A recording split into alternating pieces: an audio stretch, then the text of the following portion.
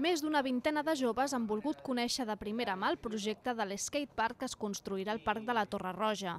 La presentació ha tingut lloc a Can Xic i ha anat a càrrec de Sergi Arenas, que ha dissenyat la pista. La pista tiene, tiene varias zonas con diferentes grados de dificultad, pero la zona más, más digamos, más para gente más experimentada eh, estaríamos en una, en una pista de nivell medio. Es tracta d'una pista polivalent per a totes les disciplines. Això dificulta poder complaure tots els usuaris perquè bicicletes i patins tenen unes necessitats diferents.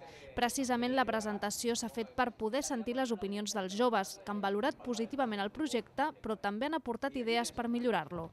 De hecho, ahora nos vamos a quedar un, un rato a redibujar a ver qué que se, que se puede hacer con, con las ideas que, que ellos, que se puede, cómo se puede reinterpretar el espacio para poder dar salida a lo que, a lo que, a lo que los elementos que ellos están demandando que no existen ahora mismo en, dentro de esta pista. La construcció de la pista de skate començarà ben aviat amb l'objectiu que estigui acabada a finals d'any. Mentrestant, a l'octubre tindrà lloc una nova edició de l'Urban Fest. El Parc de la Marina tornarà a convertir-se en un skatepark provisional per als amants d'aquests esports urbans.